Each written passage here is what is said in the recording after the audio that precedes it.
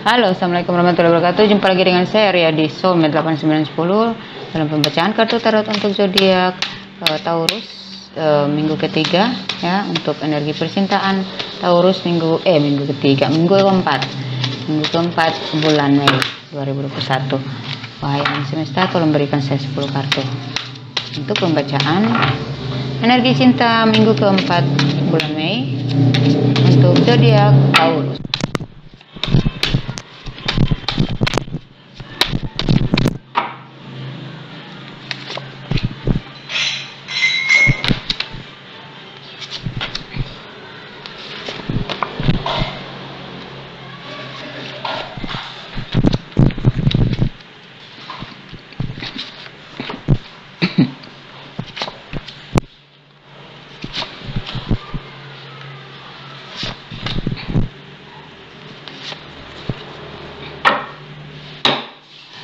Oke.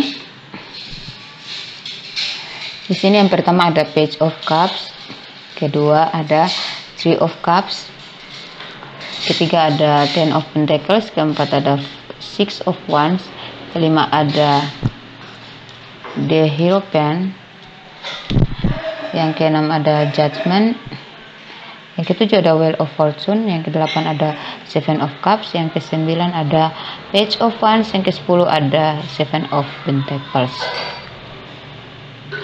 Dan di bottom of the decknya ada Three of Pentacles ya. Yang saya tampilkan hanya 10 kartu ya. Bottom of the decknya hanya sebagai pelengkap. Oke. Okay.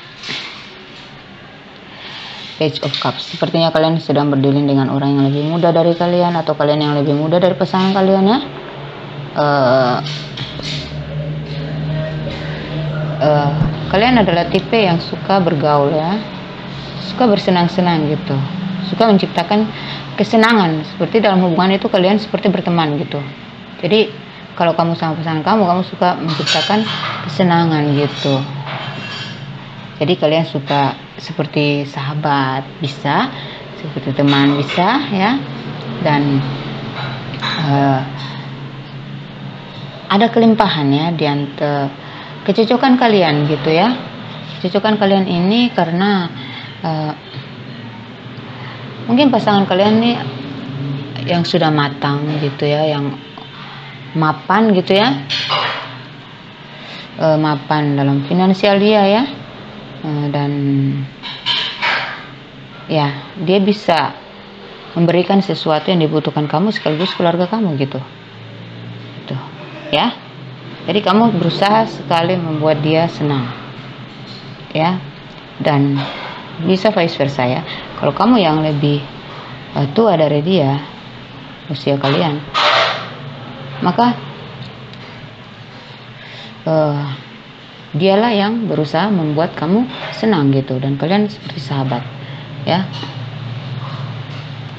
Dia menganggap kamu itu adalah uh, seseorang yang bisa diandalkan untuk bisa mengurus orang tua dia ya. Hmm, atau diterima sekali sama keluarga kamu gitu.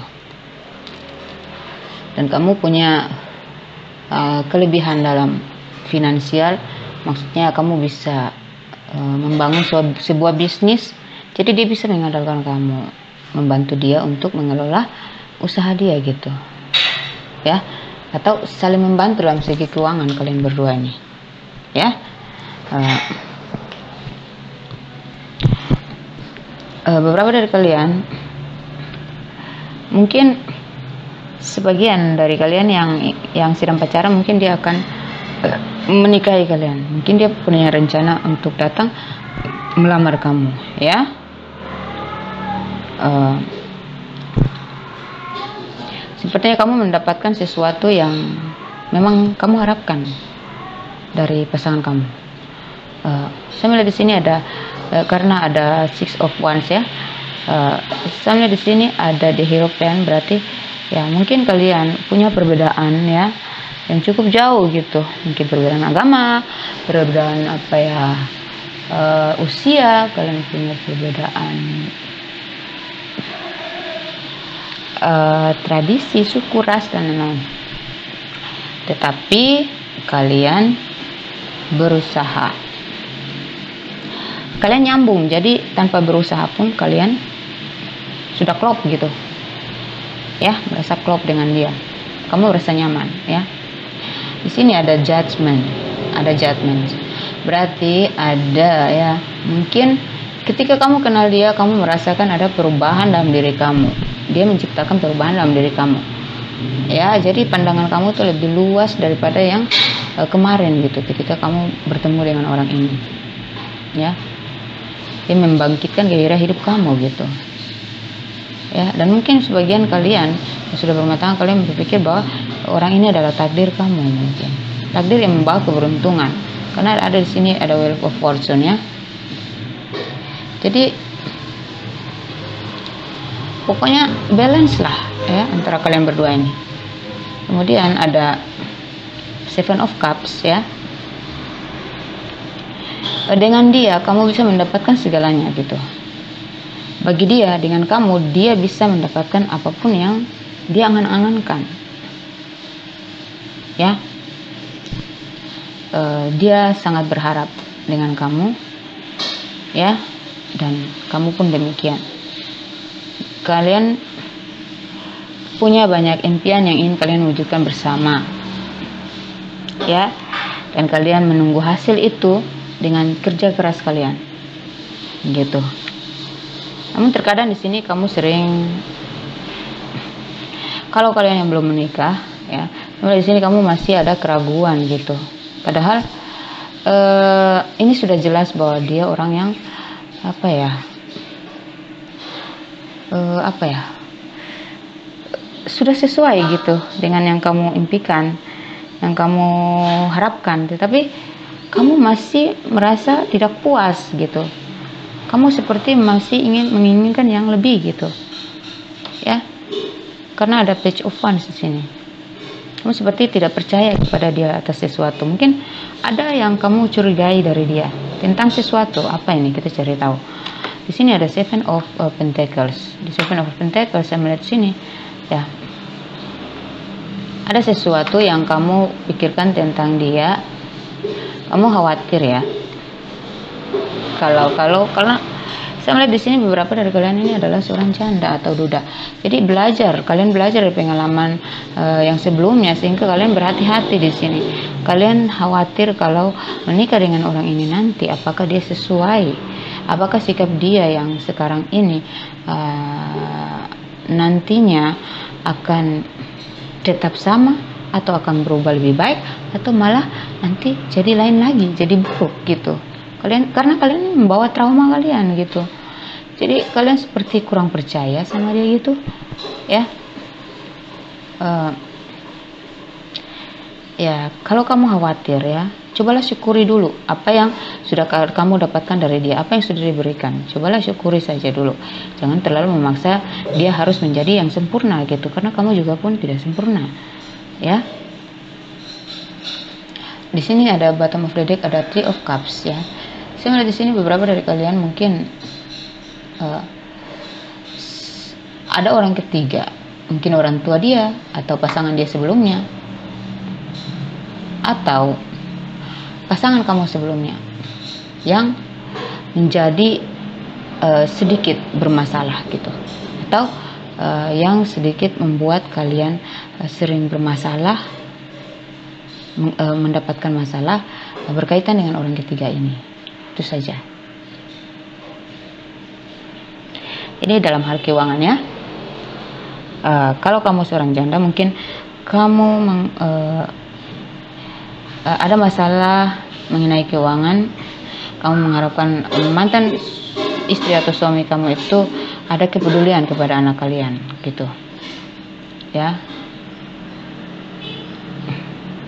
Ya yang jelas ada hubungannya dengan keuangannya kalau kamu adalah perempuan uh, kamu mengharapkan mantan suami kamu untuk membantu kamu mengurusi anak kalian. Karena ini bukan anak dia gitu.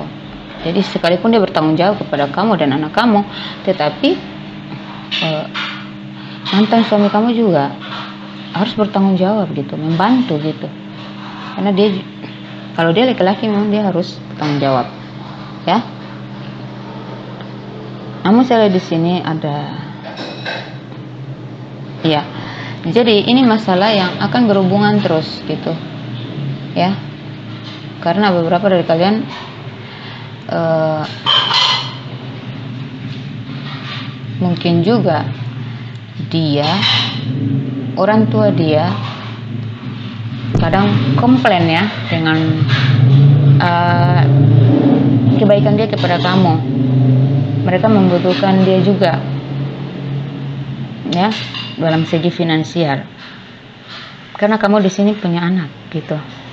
Jadi orang tua dia maunya tuh hmm, berbagi gitu. Dengan orang tua dengan orang tua dia dan orang tua kamu.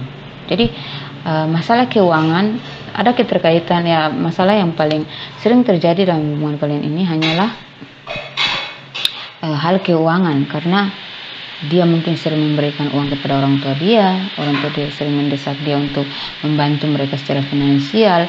Karena mereka berpikir e, kamu punya anak ya, harusnya e, kamu tidak perlu terlalu mengongkosi anak anak dia gitu. Kalau mereka sering bilang gitu. Bisa saja gitu ya. Seperti itu.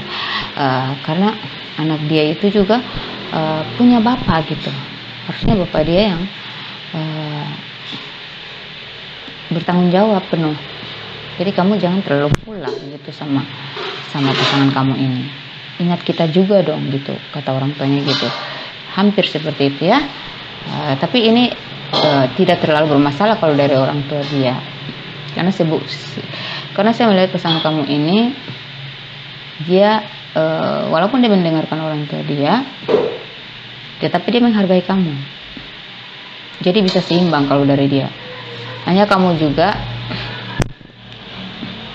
terkadang kamu merasa bermasalah karena kamu merasa ris risih ya. Kalau kamu mengharapkan dia sepenuhnya karena kamu tahu bahwa uh, pasangan kamu sebelumnya itu juga harus bertanggung jawab terhadap anak kalian.